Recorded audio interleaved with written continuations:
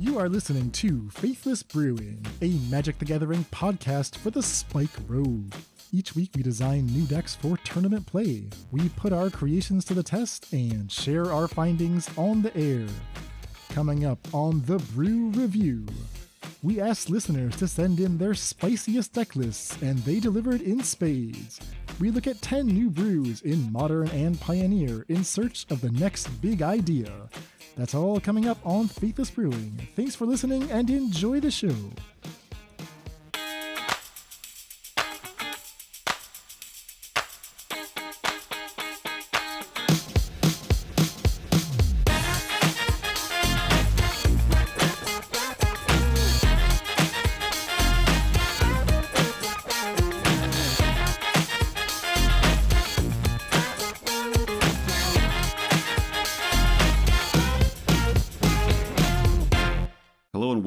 Faithless Brewing Podcast. I am David Robertson and I am joined by the maestro of the Faithless Brewing Podcast. He is Dr. Daniel Schriever, Dan the Man, surviving in the heat in Texas. What is going on, my friend? Hello, hello, David. Good to see you again. Yeah, I'm doing well. Staying hydrated? Trying to. I mean, it's intense down here. They just Topo Chico, baby. That's what you need. Exactly. They they just found a couple of hikers who died in Big Bend from who knows dehydration or something like that. So it's it's getting real out here. You think they should have ridden a submersible down to the Titanic instead, or just you can make bad choices anywhere anywhere in this world. Topo Chico should have flown some, Yeah, flown some bottles out there to them. but airlifted yeah. in there. It's the only hope. Yeah. Yeah, on a on a different note, actually, I do want to just say at the top, in my head, the connection is, oh, there's been a tragedy in the sub community. But um, I was thinking, well, actually, in the podcast community, we have a little bit of a sad moment here, by which I mean to say that Brian Gottlieb, co-host of the Arena Decklist podcast, he's fine. He's in good health. He's doing well in life, but he's stepping down after over 300 episodes of him and Jerry Thompson over at Arena Decklists. Just for me personally, I mean, that's how I got into podcasting. That's the first podcast I ever listened to. The one that just stuck with me over all these years. And I just want to give a quick shout out, say thank you to Brian for all of the work, all of the content. Um, I'm just going to miss having your voice in my ears. I know that sounds weird, but podcasting's a little weird that way. It uh, it's it's interestingly intimate in a certain kind of way. I do think it is. I mean, I as someone who both produces a podcast but also listens to a lot of podcasts, I think as a listener you you do kind of feel like a sense of intimacy and familiarity with the people who you're listening to, even if like I don't share that much about my life here, but I you know, I imagine that the people listening to this show like feel like they know us a little bit. Yeah, it's a loss. Jerry is obviously still putting out a great show. Has not revealed the new co-host yet. I'm still going to keep tuning in every week, but without Brian, uh, it's just not gonna. It's gonna hit different for sure. yeah, well, we wish him well. Uh, uh, it sounds like this was a very considered decision on his part, from what I've read. So hopefully, you know, whatever he has next is uh, is going to bring him as much satisfaction as the podcast did. Well said. All right, David. What's our plan for today? On to our podcast, where we are still here, still on the grind. Um, we are going to talk about brew review. So we have a bunch of sweet brews drawn up by the members of the Faithless Brewing Discord. And they have submitted them to us to take a look at them and maybe offer some suggestions or maybe just marvel at the uh, ingenuity or sometimes both. Um, now you might say, hey, how can I submit a deck to this brew review? I'm glad you asked, you know, voice in my head. You can go to patreon.com slash faithless brewing and you can join at the appropriate level, which grants you access to submit decks in exactly this fashion. See, the intimacy goes both ways, David. Right? Even though we can't hear the listeners, their voices live in our heads. Yes, are being projected. We hear them clearly. Patreon.com slash faithless brewing. That's where you can sign up, uh, help support the show, gets immediate access to our wonderful Discord community, and fun perks like the brew review, which we have not done in a while. but seeing the spice that's been submitted today, I'm looking forward to doing these more often. So, without further ado, we can just get on to the list. We got about a at least a dozen here. We'll see how many we can get through. Uh, we'll just churn through them and see what we got. This is a mix of some are Pioneer, some are Modern. And we're starting off in Pioneer. So, David, I'm going to defer to you here. Okay, so this first brew comes to us from Lurking Evil. I would say that Lurking Evil is one of the most prolific brewers on the Discord. This is a guy who's bursting with ideas. Uh, he's super excited to uh, try out new ideas and iterate on them. So, this list is called Naya Exile Mom, and it is a deck that is built around the interaction of exiling cards, playing uh, cards from exile, and then eventually locking your opponent out. He is playing both uh, two Drannith Magistrate and two Urabrask Heretic Praetor. Um, the note he has here is that Rocco Street Chef, which is a card we've not really talked about, uh, actually plays really well with the other cards. So I think people might not be familiar with this card. It's a very unique design. So Rocco Street Chef is a red, a green, and a white for a 2 4 elf druid. Although it looks kind of like a demon. I, I, guess I'm surprised to see that it's an elf. yeah. Uh, but you know, whatever. It's a red, red skinned elf. I, I'm not here to judge anybody. Uh, at the beginning of your end step, each player exiles a top card of their library. Until their next end step, each player may play the card they exile this way. Whenever a player plays a land from exile or casts a spell from exile, you put a plus one plus one counter on target creature and create a food token. So you get paid off every time. It's sort of like a Howling Mine like effect. Your opponent kind of gets the first crack at it because most cards can't be played in your end step, right? So your opponent gets the first main phase. But you get paid off by Rocco every time um, they make use of this Howling Mine effect, and they give you a food and a plus one plus one counter on target creature. So it, it's an interesting card, right? It's it's three mana for a two four. That's actually pretty reasonable. You know, it's got a big bud. It survives most of the commonly played red removal. It obviously survives stomp.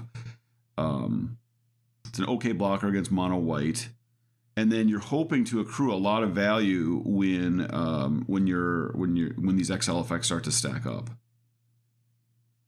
And if I'm reading this correctly, you go to your end step. So you play Rocco, go to your end step. The trigger happens. Each player exiles a card. I believe that card remains eligible even if Rocco dies. So, you know, the, the worst case scenario with Howling Mine would be that they draw a card, they draw a disenchant, and they disenchant your Howling Mine, and now you just don't get to draw a card. It's not going to be quite that bad with Rocco because you'll at least still have your card in exile that you can play potentially on your turn. So each player will have drawn one, but it's still card neutral, the total exchange. And then on top of that, if they don't kill Rocco, you're getting all these benefits. What are those benefits? Well, the way Lurking Evil has put this together, it's it's not just Rocco spitting out food tokens and plus one plus one counters, but he's identified a cluster of cards that all benefit specifically from things going to exile, getting played from exile, or in the case of Drannith Magistrate, not getting played from exile. Yeah, so I think I like this idea. I've wanted to fool around a lot with Rocco, so I love the Rocco part of it. I think we need to move that to a four of. Like, if we're going to build around Rocco, I'd like to see four Rocco, four Nalaar, four Drannith Magistrate, and four Skrelv. Mm. Um, like, I, I want to just go all in on this and and make our way. Now, once we've upped our legends that far, I think we can play one or two um, Mox Ambers. Okay.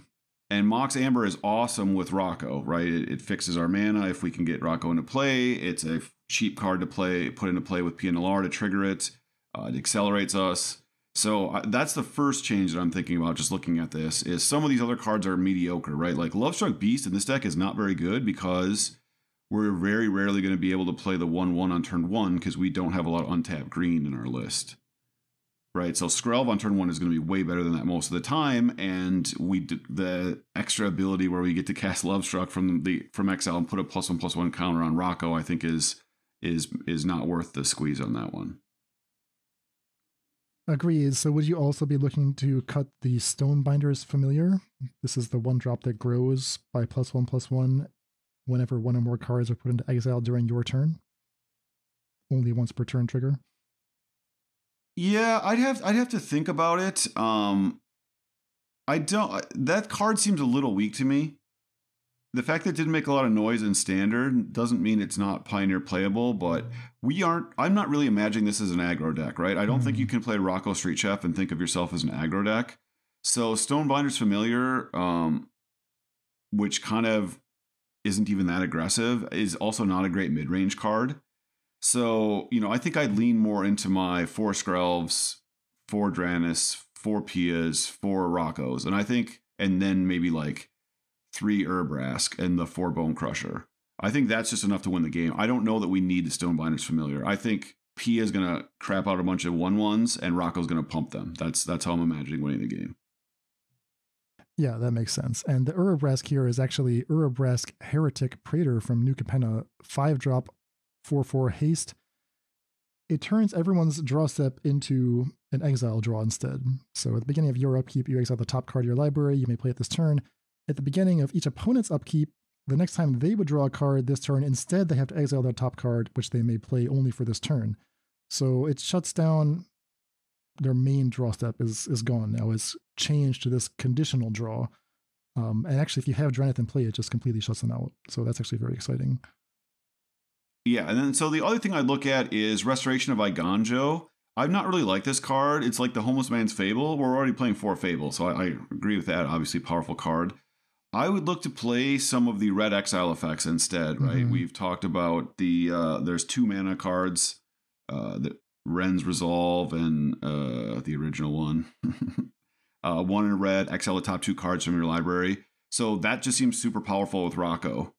Uh, it seems super powerful with Pia Nalaar, right? Where you're all of a sudden you're you're making one ones, you're putting plus one plus one counters, you're getting food. Um, it's a more efficient way. Like you can cast it on turn two to make sure you hit your your third uh, land drop. It's red. I think we kind of want to bias the deck a little bit more towards red. Uh, again, I think getting rid of Lovestruck Beast and only playing uh, a bare minimum of green sources is, is maybe the way to go. And then I get nervous about, about playing Ossification once we cut the Restoration of Eiganjo because we aren't going to have that many basic lands. So maybe we want to go up to the full Chained to the Rocks um, mm. and really maximize our mountain count. Yeah, I like that change. I actually totally forgot about Rocco because there, there's a Nalaar deck going around that is really going hard on Reckless Impulse Wrenn's Resolve, and it, it's having some success. I thought Pia was like a lone wolf. I just forgot that Rocco also gives you bonuses off playing from exile. So yeah, that would streamline the deck quite a bit. I, I would even go so far as to cut the Fable of the Mirror Breakers. I know that's heresy, but um, you got to get the synergy in somewhere. Yeah, you do. I mean, you, you have lots to cut though. Like if you cut four Restoration, two Lovestruck Beast, four Stonebinder's familiar, uh, you're making room for a lot of stuff. Mm, true. Two ossification. You know, you play one Chained to the Rocks. You you still have four chain plus the four stomps from Bone Crusher. Um, and then you you can fix your mana at, at that point. You can like cut the Fabled Passages. You don't have to play uh, all these basic plains. But yeah, this is a this is a super cool idea for a list. I, I actually really like this. This is kind of something I was thinking about doing. So uh, it's, it's, lurking evil is uh, ten steps ahead of me. But yeah, I love the idea of the the Rocco plus the Pia, just playing like a mid range list basically. And then you you need to find a way to interact with the unfair decks, right? So he's got like Containment Priest in his sideboard. He's got Archon of Emeria in his sideboard. He's got Unlicensed Hearse in his sideboard. You could even consider playing Invasion uh, of Gobakhan in your sideboard. When that flips, it, it's a card that gets cast from exile. Uh, you do have a lot of bodies that can flip it and that can absorb the counters afterwards. So that's something to consider. Yeah, those are all good suggestions. All right, so that's a Naya Exile deck with Rocco Street Chef by Lurking Evil. From there, we move on and we're dipping over now to Modern, where our next deck is submitted by Woosh. It's Blue Black Rogues. Woosh has zeroed in on this card, Morsel Theft. I believe this is from Morningtide. Morningtide had this really interesting mechanic called Prowl. Prowl says you may play this card for its Prowl cost if you dealt combat damage to a player this turn with a Rogue, and the Prowl cost is one and a black. So the face value of Morsel Theft is four mana for essentially uh, Creeping Chill, right? Target player loses three life and you gain three life. But if Morsel Theft's Prowl cost was paid, that means you're casting it for two mana, and on top of that, you get to draw a card. So you get this really attractive Lightning Helix plus draw a card. All you have to do is connect with a rogue. When Morningtide existed, there were no good rogues. But in the years since, we've had plenty, plenty of rogues to uh, like round out the rogue suite. So Woosh has put together a blue black rogues list, and the rogues they've chosen are Mercurial Spell Dancer, Dauthi Voidwalker, and Brazen Borrower. Mercurial Spell Dancer, Phyrexian Rogue, cannot be blocked. It accumulates oil counters whenever you cast non creature spells, and then you can cash in two oil counters whenever it deals combat damage to a player to double up your next spell. So you can imagine actually doubling up the Morsel Theft with the Prowl cost for a six life swing, 12 life swing actually, and drawing two cards. That's the dream. We have these 10 rogues, we have the Morsel Thefts, three copies, and then we have to interact, right? This is the classic uh, blue black strategy. You got to interact. So you have Thoughtseize, uh, Unearth to get back your creatures. There's Dismember, Fatal Push, Consider, Murderous Cut, Spell Pierce, and actually three copies of Wrench Mind for Mishra's Bauble. Kind of curious about those. I think the cool thing about Ur's uh, Mishra's Bauble is it turns on the Mercurial Spell Dancer on turn three. In theory, like you play Spell Dancer on 2 Mhm. you can play the Bauble and a one drop, and then when it hits, you can Morsel Theft that turn. Okay. Yeah, you really want to like get your Spelldancer value in quickly. Yeah, It's a card that it's pretty good in Legacy, where the two drops just survive better. I've been skeptical in Modern just because a, a two one is so fragile. Um, with Wrenn and Six, and, and now with Orcish Bowmasters in the mix. But if we're gonna try to do it, I mean, Morsel Theft is the card to the card to like really swing for the fences with. Probably, if I were gonna play this, I would go up to like twenty rogues. Like ten is just not enough, even with the unearths. I, I'd be very concerned that I wouldn't be able to trigger Morsel Theft that in turn means that the spell dancer is not going to be as reliable. So it's a it's a tricky proposition. Like, what would happen if we just played a more typical rogue suite, like uh, you know, Thieves Guild Enforcer, Soaring Thought Thief, that kind of thing. I mean, are those cards uh, obviously in the postmodern world they are not playable? But are, I mean, were they ever really playable? There was ever like a rogues deck in modern. I'm trying to remember, like before MH2 even. Was that a thing? I mean, we tried it. It wasn't wasn't anything great. I mean, Dauthi Voidwalker is really good, right? It gives your deck main deck answers to Graveyard Hate. It's good against Scam. Um, the Spell Dancer's fine. I don't think Wrench Mind is a um, a modern playable card, so I don't know that we need to be doing that. So there's like some cuts there. hmm If we're gonna play the Unearths, maybe we just like play Spell or Snapcaster Mage as just like a value card. Yeah, maybe. I guess the other direction you could go is Bitter Blossom. I mean, that that spits out rogue tokens, fairy rogues. Was once banned in modern. We need more banned cards in the deck, right? So Yeah. Bitter Blossom's a fine place to start. yes. And then I guess I mean the question is, if I were gonna like seriously try to improve this, I would really take a hard look at morsel theft, and just imagine that we always can do it, and just see how it impacts the game. Because it can't actually hit creatures, it's it's never going to be like two for one per se. It's just going to be a nice life swing that draws cards, and it's possible that that's just like not strong enough. But it would be sweet if it were. Yeah, and, that's the issue, right? It's only a two for one if the three damage is bringing them closer to dying. Now, the three life might be very good with um, the uh, bitter blossom, right? So Hmm. that kind of intrigues me. Like it turns bitter blossom into a better card. Yes. There are other powerful cards that you can cast um, with prowl. so you know if you if you're going to go all in, all in, maybe you need to even play more prowl effects for Mercurial Spell Dancer to copy.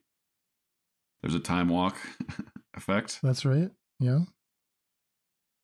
I love the idea. I mean, Mercurial Spell Dancer is awesome. I just it's just tough with Bowmaster and Wrenn and Six. Like this is a bad time to uh, to be living that dream. So maybe that's a reason for us to go back to Pioneer, where we have our next brew submitted to us by Bridger, host of the Shock Seas podcast. And Bridger, uh, last time was asking us about the card Wrenn and Realmbreaker. Bridger's been a huge fan of Wrenn and Realmbreaker, advocate for it, and has been putting a lot of work in testing it. Has submitted for us for our consideration a black green rock list. Yeah, okay. So 25 lands Interesting, it includes an Argoth Sanctum of Nature. So he uh, or they uh, might just think that it's a worthwhile card because the the quote unquote combo is not here, right? There's no uh, legend to go with our Argoth. Three Wrenn and Realmbreaker, the normal suite, right? So our eight one mana black spells, those are a must. Two Heartless Act, okay, we've we've teched it out. Two Assassin's Trophy, one Abrupt Decay. Creature Suite, three Glissa. That's a Dan uh, Schriever favorite. Three Jewel Thief, very interesting card. Three Tenacious Underdog, two Misery Shadow, three Sheoldred. Um, the thing that I find interesting about this deck is you have some cards that suggest aggro, right? Tenacious Underdog is like an aggressive card. And then we have some cards that are a little more like value like I think of Jewel Thief as a very excellent mid range card, and same with Wrenn and Realmbreaker. So I'm wondering uh, if if uh, Bridger is just a master of like switching roles in certain decks, and you know, kind of recognizing what needs to get played because they have a you have a ton of three drops here. You have um, six, eight, 11 three drops, and they all are similar, but they all do slightly different things, right? Glissa dominates the board as a blocker. It can be card advantage engine. Jewel Thief turns on Thoughtseize, ramps possibly to double spell on turn four. Uh, Realm Breaker is just kind of like a value engine, very good against control decks. Um, and then you you even have three Bankbuster main. So this is this is a person who loves themselves uh, a lot of card draw. Uh, this is there's a ton of card draw in this uh, for a mid range show. So maybe this is just teched out to go over the top of red black. And I would love to know more about Jewel Thief specifically. I didn't even realize this was a card. It's two and a green, three three, vigilance trample, cat rogue, and when it enters the battlefield, you get a treasure. So it's like a it's very much a draft card, right? It just doesn't scream constructed playable to me. Vigilance and trample, I mean they're not bad keywords, but they're they're not the card they're not the keywords we're looking for when we're building our constructed decks. The treasure is I mean, treasures are always useful, but it must be a lot more useful than I'm envisioning. I guess it gives you revolt, it gives you extra mana to use your bank busters, use the cards you find off Wrenn and Realmbreaker. We're playing a Jewel Thief over, I don't know, like a Liliana the Veil or something more interactive. We're playing it over Mana Elves. So it, yeah, I think that what this shapes up to is like a very solid mid-rangey deck, right? Bridger says they they do great against control, great against Rakdos. Um, they do well against Convoke and humans. Possibly just because you know pilot skill is very experienced with this archetype, and that matches my experience of you know if you're taking a mid-range black green deck into a matchup like that, right? You, it's anyone's ballgame uh, if you leverage your resources correctly, use your removal correctly on the other hand, I think that Bridger said the decks they struggled with were like green decks. Right? Green could just go over the top. Yeah. There's just a lot of interesting choices in the mana. So 25 lands, that's pretty typical if you're not going to play a mana elf. That's fine. Uh, you don't get to play Fable to to you know smooth your draws. So one of Argoth, uh, that's that's an interesting choice. I'm not sure that's right or wrong. One demo field, one field of ruin. That's interesting. Red black does not play either of those effects two Mutavault, mm-hmm. and then one of Mana Confluence. You know, you'd think in a black green list your mana would be good enough that you don't have to do that, but maybe you need to stretch it to, to try to get some more value from your creatures. And there's enough life gain with the three Sheoldreds um, that you and the two Graveyard Trespassers that you feel like you can spare it. Let's just make the Llanowar wastes. yeah, I mean, it seems like that's got to be better, right? Because you, you never need the other color. You even get treasures from the jewel thief. Right. Okay, I'm not sure what the answer is, but Bridger, I would love to know more about the details of this mana base. But yeah, it seems like this is the current home for Wrenn and Realmbreaker from the mind of a Wrenn and Realmbreaker enthusiast. So interesting to see how this one is shaping up. It looks fun to test. All right, next deck up Dredge for Bones. Oh my gosh, David, this one's going to you. Dredge for Bones submitted to us by TuesdayTastic. Tuesday Tastic, awesome name. So they are describe the deck. So we have what they would call like the quote unquote dredge, traditional dredge game plan. Now, just a reminder, there are no cards with the actual dredge keyword in Pioneer.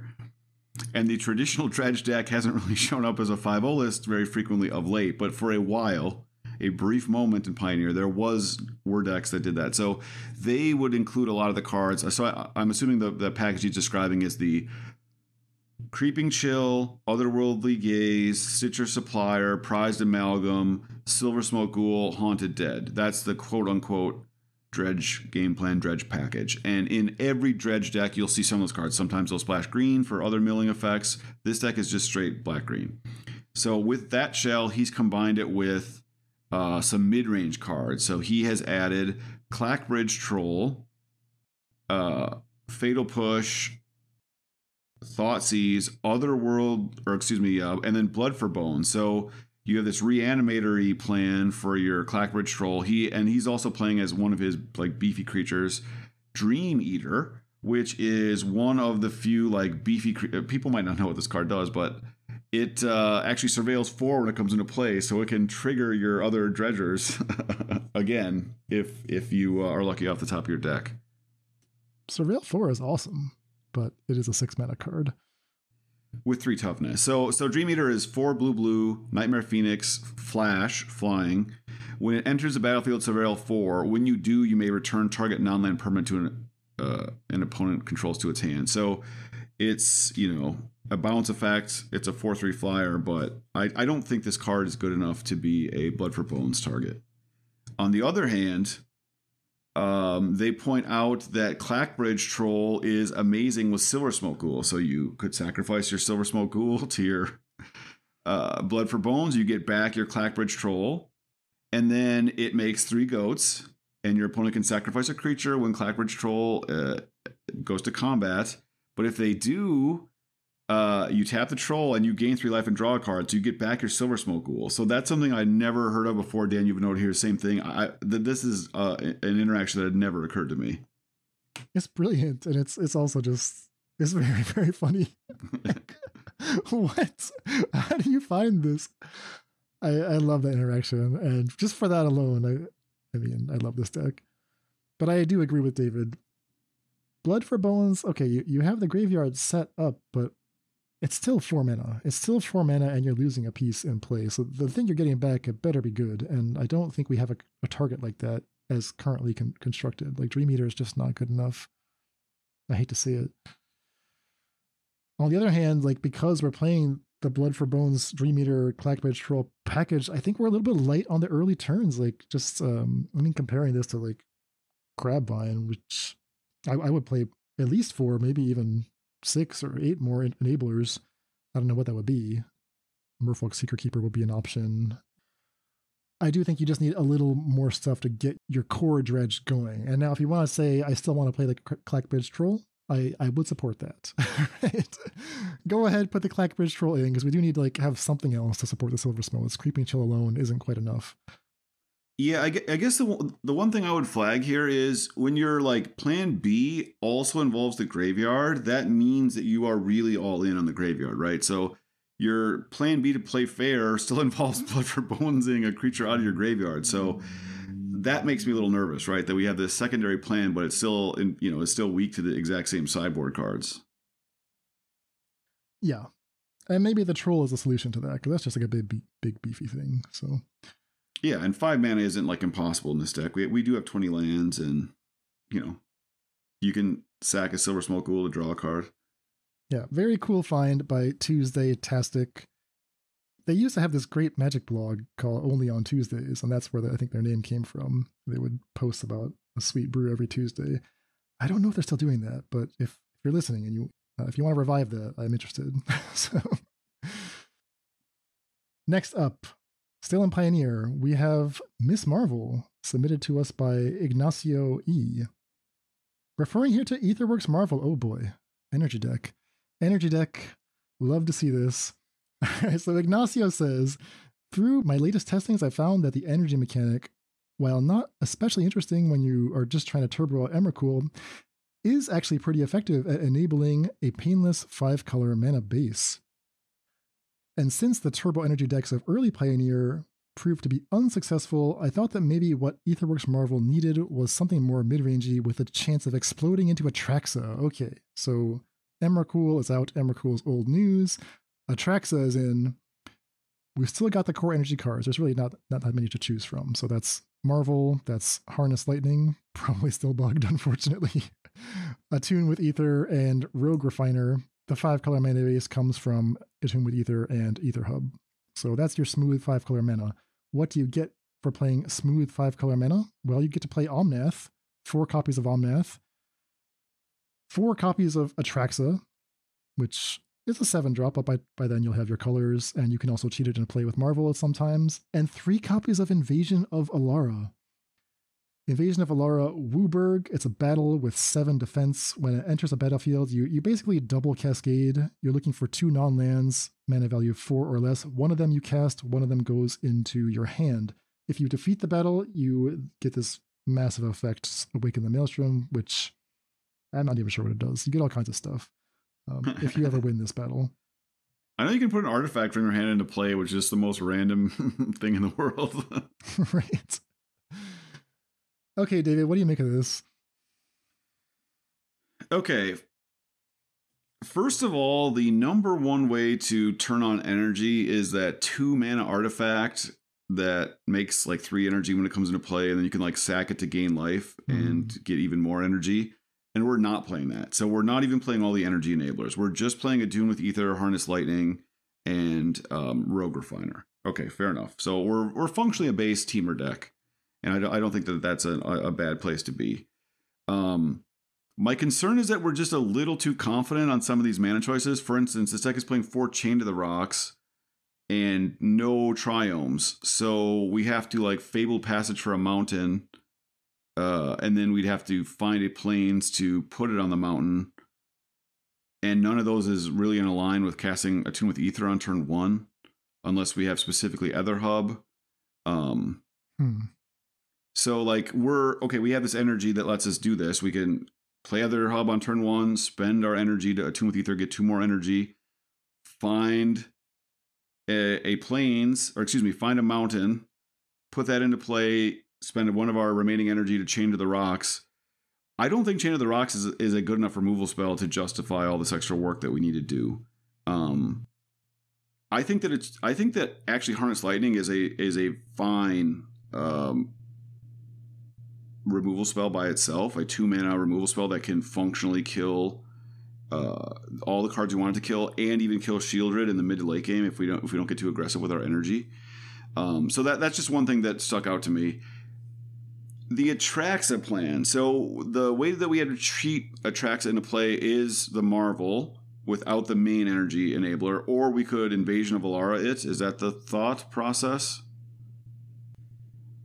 Uh, can we invasion? I mean, invasion. But it doesn't do do that, right? No, I, I, think we either marvel it or we have to hardcast it, and that's also a question I'm I'm trying to figure out because there is a path to seven mana. You have Omnath plus Fabled Passage. That's one way.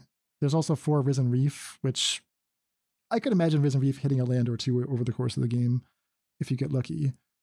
But yeah, I, am not seeing the path to like make Atraxa useful as a card that you draw.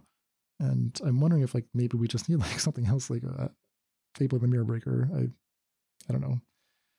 Generic smoothing card that can ramp you a little bit. They'll probably kill it. That will add counters to your Aetherworks Marvel. That's not nothing. Yeah, I mean, I, I think the problem is if you're playing Marvel, you kind of have to be all in on the energy because if the if you don't have enough energy, Marvel doesn't do anything, right? Mm. Um, True. So, are there effects that um, can like proliferate? Is is another option? You know, they gave us some new proliferate cards. I, I also don't hate like Elesh Norn plus Omnath as the basis of all this, and maybe you don't need Atraxa at all. But then, what are you marveling for? So I, I just it feels like it's it's being torn in a lot of different directions. You, there's also not enough lands uh, for uh, tune with Aether, uh, 22 lands is, is, I don't believe, enough, even with two oath. Hmm. Okay, so there's a little more, maybe just tweaking to do with the bottom of the curve here. Yeah, I would love to see Marvel's, you know, it gives you an energy every time a permanent dies on your side, and like treasure tokens count, and that interaction wasn't available before, so I'm just wondering if there's something there. Well, that's why I kind of like it with Fable. Like the one thing that Fable does is put a bunch of random shit into play, right? Mm-hmm. Like uh Jeweled Thief is another card that I actually like kind of think of. Okay. uh again, like another card that is like full ramp, but you only kind of need to ramp the one time. Um, and it, it's also giving you, you know, a, a permanent that is going to die. So I like the idea though, like, okay, we're gonna play energy and then we're gonna have this great mana. I just don't know that like you want to do that with Marvel because what we're saying is we're gonna spend all this energy to make our mana perfect. Then we're not gonna have any mana left over to trigger our Marvel. I kind of think you have to pick one or the other. Last card you might consider is that that enchantment all will be one five mana, but whenever you get any kind of counter, including energy counters, you can pass damage around. Okay, that's a slow card, but maybe that's not like a terrible Marvel hit if everything else in your deck would trigger it, would would give you energy and therefore distribute damage. Well, and then you could maybe like get rid of some of these colors too. Like if you play that as your hit and not attracts our invasion, you can get rid of black entirely, and maybe you can just play like Temur and you're just splashing white for Omnath. Okay. Yeah, I I'd be interested in Invasion of Ixalan, the two mana one that digs five for a permanent, because that also brings five defense counters with it. So that would find your Marvel, that would find your Right. um, All Will Be One or something. Ah, it's interesting. I'm glad that Ignacio has not given up the dream of an energy deck because it was such a dominant mechanic in its day in standard, and it's it's just kind of sad that it's been like power crept out of Pioneer. Yeah, and because they're not going to like print more energy cards, it really is just kind of like locked in time, like until they decide to break the mechanic again in you know Modern Horizons three or four. hmm It you know it, it's a very you know parasitic mechanic like we talked about only interacts with itself, and other than proliferate, and they have printed some good proliferate cards lately. Uh, there, there's not that much to do with the energy. Agreed. All right, David. Next deck up. All right, legendary combos by Patrick Thomas, P Tom. Okay, so this is a Greasefang deck. So we have Greasefang, Chariot, Parhelion, but he is really, or they are really leaning into Plaza of Heroes. So uh, he also, the dreaded double combo, where's Damon? He also has the Rona Retraction Helix combo in here. So almost all the creatures except for one di- diligent excavator are legendary. So he's playing the full four mox amber. But because he's playing all these looters, Jace and Rona and Emry to help fill the graveyard, he has like a back doorway to fill the graveyard for his Greasefang. Um, so he's he's got all these colors and he's he's even splashing green just for Tyvar, and he's doing that with the power and theory of Plaza of Heroes. So I like this idea exactly like the last deck. These are really creative ways of really pushing the mana to the limit. Like, are we not building these decks because you know you have to play so many shock lands and how uh, consistent can you be? Both of these people are really thinking about we actually have a bunch of five mana lands that don't hurt us. And is there some way to get an extra payoff for getting to play, in theory, getting to pick the best cards from a bunch of this stuff? Um, I do like that uh, Jace and allows you to cast Can't Stay Away for only two mana from the graveyard as like another backdoor way of getting your Greasefang back. I like that Tyvar just randomly loots and it can find, uh, you know, one piece or another. I like the Force Skrelv to protect your various combo pieces. Um, there's no interaction in this deck except for Retraction Helix itself. Um, but we've seen that typically when you attack on two different axes and the way that you kind of beat the Rona combo versus the uh, Parhelion combo are different, um, then then you can kind of get paid off. The, the the real issue is that only Di- Diligent Excavator is a win wi- when you activate the Rona combo, right? There's no other way. I believe that if you have a Tyvar, that should win because you just bounce the Tyvar a bunch of times and minus to it. And then what happens next? That eventually, I think that finds the Diligent Excavator eventually, and then you switch back to bouncing the Amber. So you have five cards between the four Tyvars and the one Diligent Excavator that complete the Rona combo. Okay. And you need to already have the Tyvar in play though, because you need to be able to make the black and green with the Mox Amber while you're bouncing it. Correct. Yeah. So it's like Yeah. several pieces. It's Rona, it's Amber, it's Helix, plus the fourth piece, Tyvar or Diligent Excavator. Yeah. It's a surprising shell. I mean, I did not realize that all of these pieces are legends. So like combining these two different combo packages, the Grease Fang and the the Rona combo, and like this sort of sideways Emry package that kind of glues it all together. The fact that they're all legends is is a very cool find. I agree with David. There's no interaction whatsoever, so you're really putting the pressure on yourself to like do this quickly. And I, I'm not sure. I'd have to see how it plays out to see how long it actually takes to do this.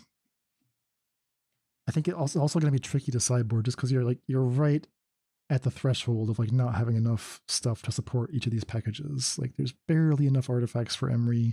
There's only the Skrelvs and the Ambers. Uh, I don't know if we count the Chariot for that. Barely enough two drops for Tyvar's minus two to be good. Like it, it will work, but if you have to sideboard, then you kind of have to take one package out and it starts to lose its cohesiveness. And you really do not have that many ways. Like you have no, you have six creatures that loot, but they have to untap to do so unless you have a Tyvar in play. So you have no like built-in loots. No, you know, you, you're just kind of blind milling for the most part, right? Emry just mills, Tyvar just mills. So you do not have a lot of control about getting Parhelion in your graveyard. So what about Raffine? I mean, take a page from the Classic Legends deck. That's what I was thinking. I, I think Raffine's just a straight up better card than Emry. I don't think it's even close. And like you say, there's so few Emry targets here. Maybe this is just the way to go. Okay. Uh, yeah, so I mean that's a easy enough swap that takes the pressure off of you to like keep your legend your artifact count high. Um, can't play Dennick. Dennick will shut off the Grease Fang combo, but um, it's okay. And it's, it's, we get Grease Fang instead. Ambitious concept from Patrick Thomas, and uh, I'm excited to see where he goes with it. From there, we shift back into modern, the fast paced world of modern, where if you're going to play a deck full of legends, you get a bunch of new toys now. Um, there's there's a perfect mana dork called Delighted Halfling from Lord of the Rings that's like a cavern of souls for legends. And people have been having great success with this in a bunch of different shells, including in Winota. So the list we have before us is a Winota list submitted to us by Spencer Hanks, who's a big Winota enthusiast. Um, been watching Spencer along with Dak Faden07 post a bunch of Winota brews in the Discord many of them featuring the Delighted Halfling um, and cards like the three mana summit from March of the Machine Aftermath, which turns out to be like an excellent hit for Winota, it turns out. But interestingly, Spencer has not gone with green. Like the deck he was submitted here is actually black, right? So it's red white with a light black splash. Mardu Winota. Why black? Because of Orcish Bowmasters. Four copies of Bowmasters, and actually two copies of Jirina Dauntless General. It's another two drop that's a human. The rest of your cards are your kind of Boros Winota core, which means you have your Seasoned Pyromancer, your Ranger Captain of your four Winota. That's the human component. The rest of it is going to be non humans that set up the Winota. So you have Ragavans there, you have four Giver of Runes, one Frodo, three Samwise the Stout Hearted, one Eowyn Fearless Knight, three Solitudes, and kind of surprisingly, there's four ephemerates here because, um, you know, Seasoned Pyromancer works with that, Ranger Captain of Eos works with that, and then Orcish Bowmasters works with that as well, and Samwise. So I guess the hypothesis is like, what if Orcish Bowmasters is just like the most amazing Winota enabler in, that we've ever seen? Right, like a card that gives you two bodies, neither of which are human, that also inter- interacts with your opponent. Right, it kills some things or or precious planeswalkers or whatever. Exactly. And we went into great depth on this card, um, Symbol and I, in our last episode, all about Bowmasters. You can go back and hear about that. The evidence is rolling in that Bowmasters is a fine playable card. You're seeing it picked up by zero synergy decks. Decks like Rakdos Scam, decks like Black Green Rock are just playing Bowmasters. Maybe still experimenting, but it's it's holding its own. And then you can increase the synergy from there, going wide with it, like Yawgmoth is doing or in this case, going wide like Winota is doing. And you know, it's not going to be an amazing card. We're not looking to get extra triggers out of it. Uh, well, I guess we can ephemerate it for extra triggers. but um, I mean, yeah, if it just supports Winota while being a fine interactive piece on its own, like this would be a very exciting direction. And Spencer said they just got a 4 1 with this list um, just this week. Do you think we want like more humans to hit? Or it's just like hitting Ranger Captain and Seasoned Pyromancer? That's just like rock solid value, and they're also playable cards if you don't draw your Winota. That's tough. Yeah, I mean, there's 14 humans here, and that's like right at right at the line. 14, 15, 15 or 16 would be a little better, but Uh, I mean, Jirina's so small too. I don't know if she even counts. yeah, so she is graveyard hate, right? Yeah. She protects your humans. Oh, I guess Eowyn is a human as well. It's a 15 hits. Oh yeah, the fearless knight, dude. Okay, so we, we could, in theory, up the human count. The ephemerate little scam package with a solitude, I mean, that's interesting. All right, I'm going to take Spencer's word for it that this is a promising direction to explore. I, I know Dak Fade 07 is also interested in the Bowmasters supporting Winota. I was thinking, like, what if we got a little bit greedier, right? I, I kind of love the idea of Delighted Halfling giving you uncounterable Winota. I, I could see that just being way better than Giver of Runes. And I love the idea of Samut, right? Samut, the three mana Samut that draws cards whenever a creature that entered the battlefield this turn connects for damage. It turns out to just be an amazing Winota hit. Um, so you could play that, and that that's going to be your human count instead of Jirina, and you just have like higher quality of creatures all around. You could still have Bowmasters in that deck, right? The mana is very good in Modern, right? Just like Patrick Tomic was saying, we could we could play these five color lands if we have to. Um, tons of options here. I think Sam Black just put an article out uh, where where he was looking specifically like what would the mana base look like for. I think it actually was a Winota deck. It was like a legendary Winota deck uh, using some of these new tools from Lord of the Rings. So yeah, why not get greedy with it? Go go four colors, go five if you want. Get Jodah the Unifier in there. Yeah, I mean, I like an Avalanche Riders if we're gonna play Ephemerate as well. It's like just a sweet human to hit. Oh yeah, yeah. Three in the sideboard in Spencer's list, but yeah. Yeah, so maybe that's a better place for him as the sideboard. Okay, well, I feel like a 5 is coming. Uh, I don't know what it will look like, but I'm excited for Spencer to update us on that when it happens.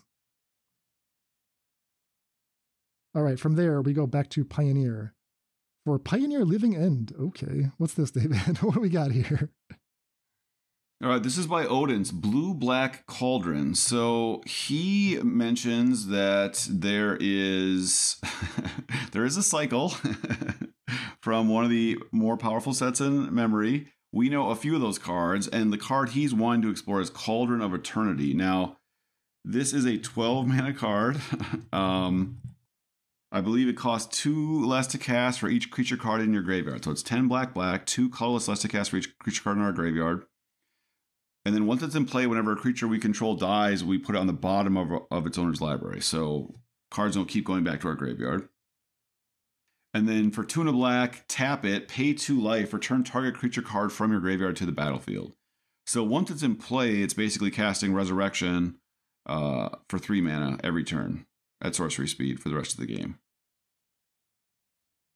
So in theory, if you have five creatures in play, you can play this for two mana and then activate it for three mana every turn for the rest of the game. That's the dream.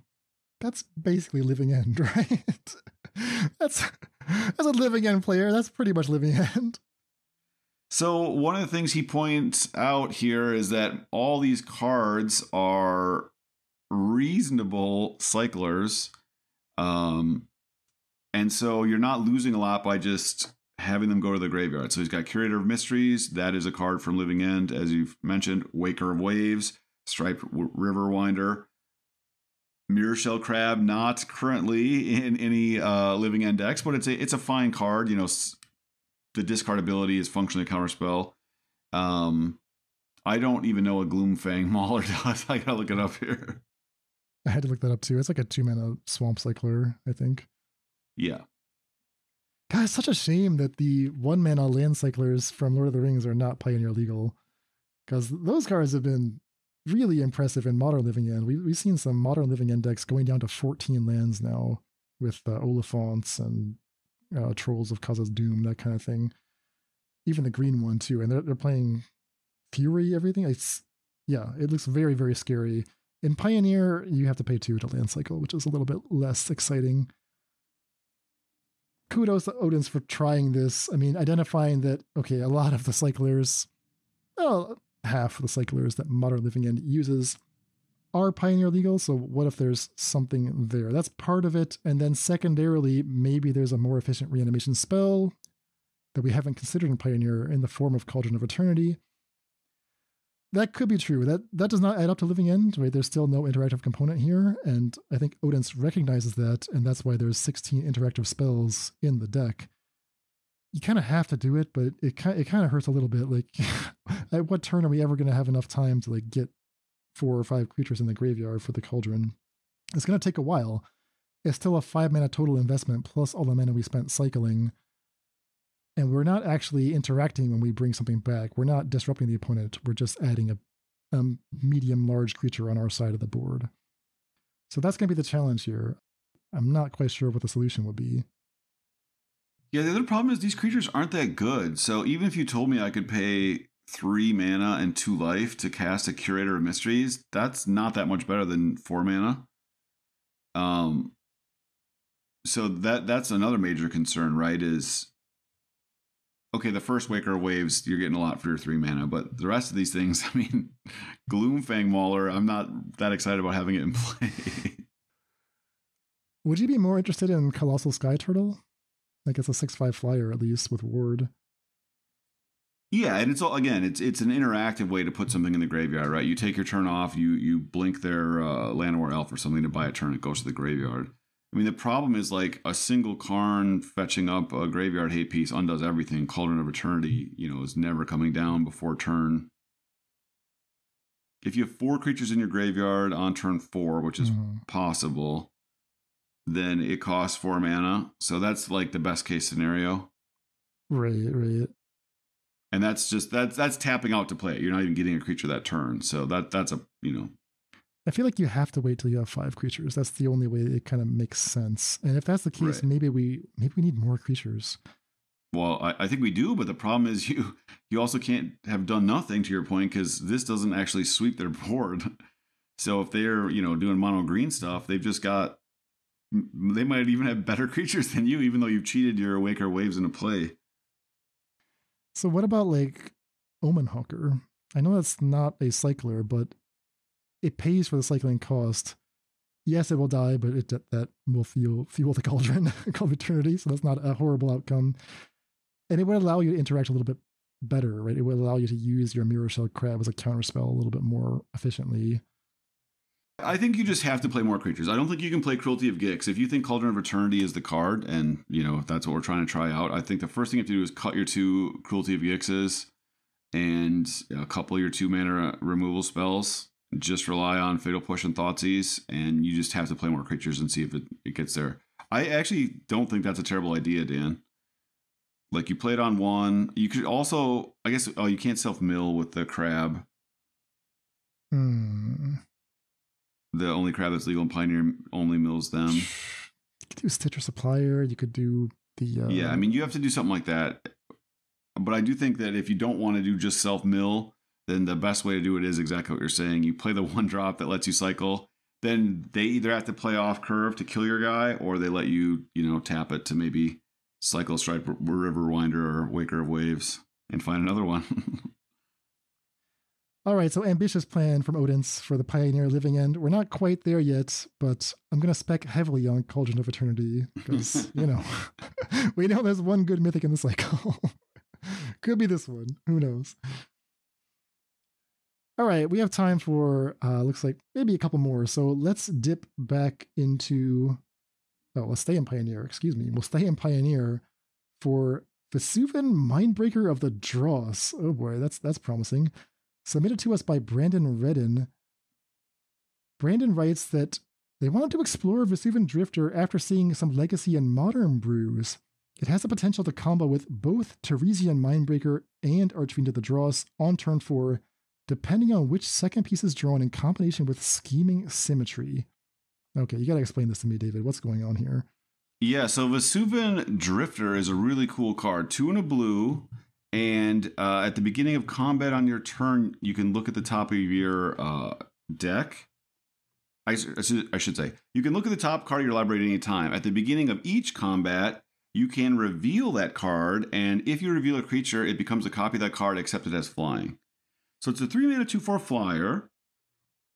Um, one of my thoughts is to maybe try to find a card with haste, but what he's saying is we play it on three. Let's assume it lives.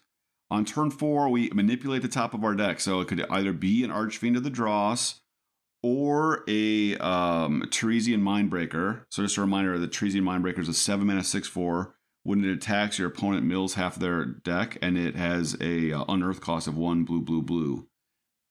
So we had identified that as a card, right, with Fraying Sanity on three. If you had some way to put the Mindbreaker in your graveyard on four, uh, you just could buy it back from your graveyard, attack, it mills half their library, but Fraying Sanity at the end of your turn doubles that. So what he's saying is if you turn three Drifter, if you've drawn Metamorphic Alteration and you can put Archfiend into the Dross on top, you can do that combo.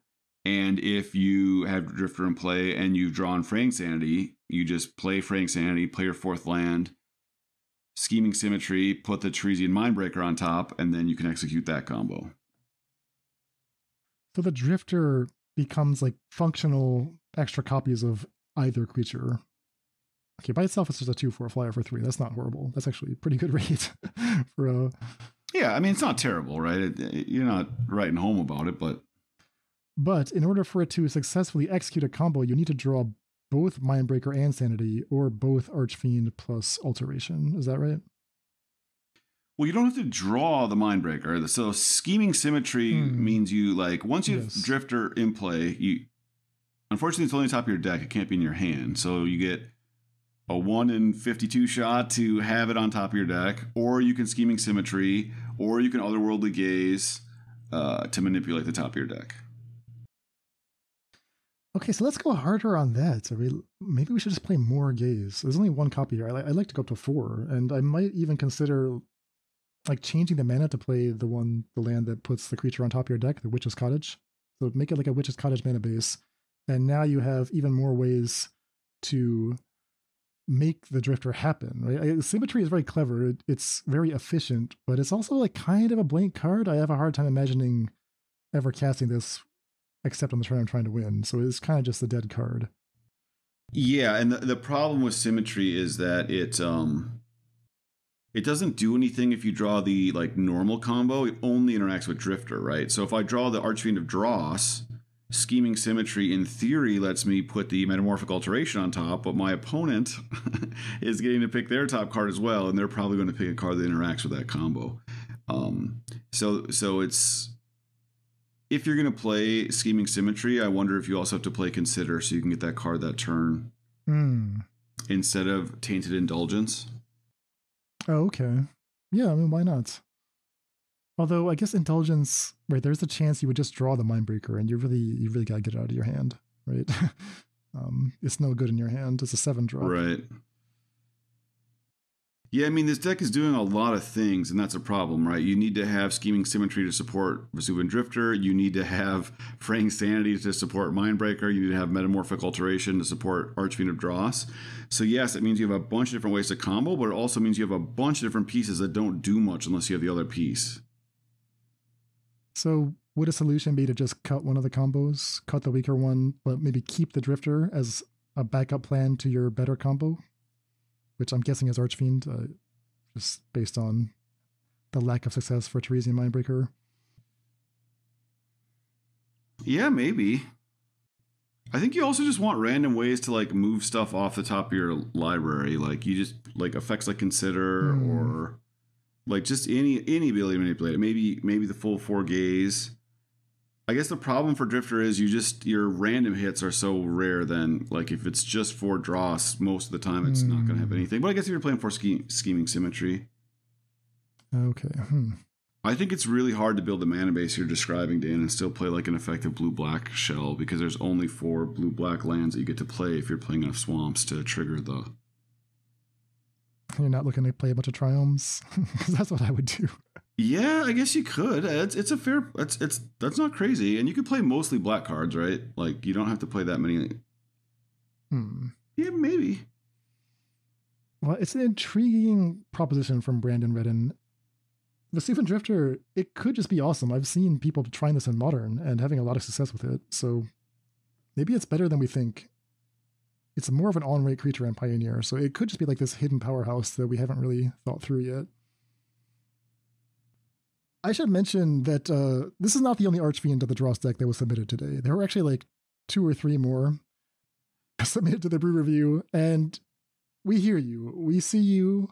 We see you, Archfiend fans. And actually, that is our card of the week. So in our next episode, David and I will be diving deep into Archfiend of the Dross. So we'll we'll hit those decks in our next show. That being said, we have time for maybe let's do one more list. We're a little bit over. Let's do one more list because I, I do love this ne- next one here going back to modern here for mono green Jeskai Ascendancy. Mono green Jeskai Ascendancy. You love to see this. Submitted by Topher, who has written a lovely write up here all about the deck. Uh, talks about how he originally conceived it as a bit of a meme uh, way, way back when Arcum's Astrolabe was still legal in modern. But it's like almost there. So, what is the concept here? Well, we all know how Jeskai Ascendancy can work right? You, you need to get a mana dork in play. Then you can, every time you cast a non creature spell with the Ascendancy, you get to loot, you get to untap all your creatures, untap your mana dork. You get to grow the creature. So you can potentially just keep casting spells as long as the mana dork generates enough mana to cast whatever thing you're trying to cast. And we've seen that done in Pioneer with um, Sylvan Caryatid, right? Right, David? Uh, yes. Sometimes the, the Paradise Druid. We've seen it done in modern occasionally with Fatestitcher. I mean, that's a pretty good one because you can just unearth it. But what Topher is trying to do is Jeskai Ascendancy with Dryad Arbor. So Dryad Arbor, much maligned card, terrible card. Everyone complains about how awful it is whenever they put it in their deck. Topher's going the complete opposite direction. He's saying this is the most important card of the deck, Dryad Arbor. This is your mana dork that allows you to build a deck with like it actually only has like two creatures, it has two Arbor Elves and then two Dryad Arbors. But because you're in Modern, you have all the fetch lands can get Dryad Arbor. You have cards like uh, Safewright Quest is allowed to get a Dryad Arbor. You have pretty good confidence that you can at least find the first Arbor and, and possibly two. Actually, the way to go infinite in this deck, as Topher explains it, is to have two Dryad Arbors going with the Ascendancy. How is that ever going to happen? Well, post-mortem lunge can reanimate a creature for one turn with haste, and you only have to pay mana equal to the mana cost of that creature, with which in Dryad Arbor's case is zero. So if you're going to target a Dryad Arbor in your graveyard with a postmortem lunge, you can do that for two Phyrexian. Excuse me, you can do that for two life, paying the Phyrexian cost, and zero mana. So it's almost free. Dryad Arbor comes back with haste. It's ready to go. You're going to start chaining through the ascendancy, doing your thing. All the creatures, excuse me, all the spells here cost a single green. That's Abundant Harvest, that's Commune with Spirits, that's uh, Safewright Quest, Regrowth, uh, Noxious Revival, Utopia Sprawl, Unbridled Growth, Abundant Growth. Some of them cost two mana, but um, like Life from the Loam is here, Commune with the Gods is here. At two mana, you do need to be have either two Dryad Arbors in play or have an Arbor Elf going which will generate progressively more mana if you get like Utopia sprawls piled up on a land. So it's it's a very clever way of like answering Jeskai Ascendancy's requirements. You do end up with this like hilarious mono green splashing a Jeskai card.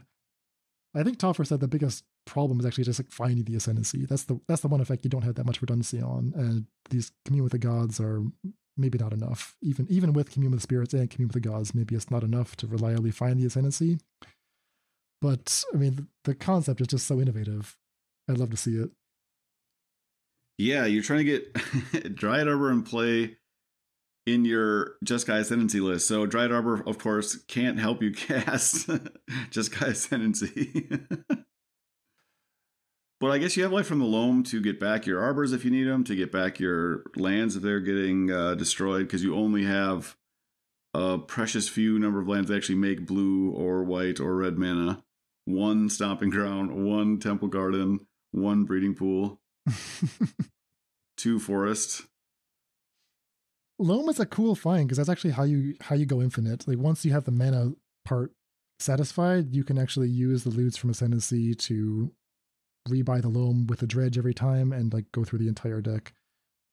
So it's, it's very clever. I I don't know Obviously, Topher has played this a bunch of times for years, actually, so I, am not going to recommend any improvement. Uh, he knows that you can. He, mentions he could add Sterling Groves, he could add Glittering Wishes to it.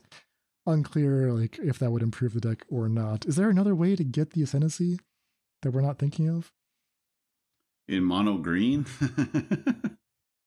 uh, not that I know of. Yeah, I mean, How are you winning here? You're making your two two lands infinitely large. Is that the like if they have two blockers, you actually don't win that turn, or I mean, you have no way to get rid of them. Okay, so you, you get your mana engine going. You go through the entire deck. You will draw everything. You will get all the stuff with life from the loams. You'll regrowth whatever you mill like that. So you'll have everything. You'll have your entire deck at your disposal and infinite mana. Yeah. So let's say I just gave you fifty thousand mana, and this is your hand, and all the lands are in play. We can imagine in a Jeskai Ascendancy. Yep. Yeah, I think you attack him with the Dryad Arbor. and they won't even see it coming because the Dryad Arbor was hiding among your basic lands in the back. So they won't even realize you had attackers. Also, this is the kind of deck where I would 100% time out, like in game one, trying to like figure out what the hell's going on. Right. It's almost like impossible to actually test online. That's a shame. Um, yeah. Yeah, like you say, just a super innovative deck by uh, Topher. I mean, I just never would have even considered this. It, it just looks like it's like very functional. like 16 land for abundant harvest actually seems very reasonable. The commune of spirits, like I'm actually shocked by how well I think this would play. Like I don't think it does very well against interaction. Um, I don't think it can win easily through blockers, but uh, it's it's like shocking how good this deck actually looks like it would play, considering he's decided to like handicap himself by making this deck mono green. Yeah, yeah. I thought it was like definitely a meme. It is a meme, but it, it looks very functional. Yes. All right, David. I think we're going to have to leave it here. We didn't quite get to everyone. There's still a few more. There's still some Archfiend lists. Those are coming next episode, but to those we didn't get to, uh, they're going to be in the extended show notes with our comments added there, so you can you can still see what everyone else is working on. And of course, discussions popping off on the Discord. People are posting this there. With uh, it's a lot of fun seeing what everyone's working on. So thanks to everyone who submitted for this edition of the Brew Review. If you would like to join us and submit your list, you can always join our Patreon. Find it at patreon.com slash faithlessbrewing. We would love to see you there. I think that's going to do it for us, David. Yeah, absolutely. That's, this was fun. All right, so we will see you in just a few days. We'll have fresh brews with Archfiend and maybe a little trophy action. David got a little trophy action going. Uh, yes. Invasion of Gobakhan. So stay tuned for that, and we'll see you next time. All right, take care. Deck lists for this episode can be found at our homepage, faithlessbrewing.com. And tune in next time for new brews with Archfiend of the Dross plus testing results with Invasion of Gobakhan. Support for this podcast is provided by brewers like you. Join the Faithless family and help support the show at patreon.com slash faithlessbrewing for Discord access, bonus content, and more. That's all for today. Stay safe, and we'll see you next time.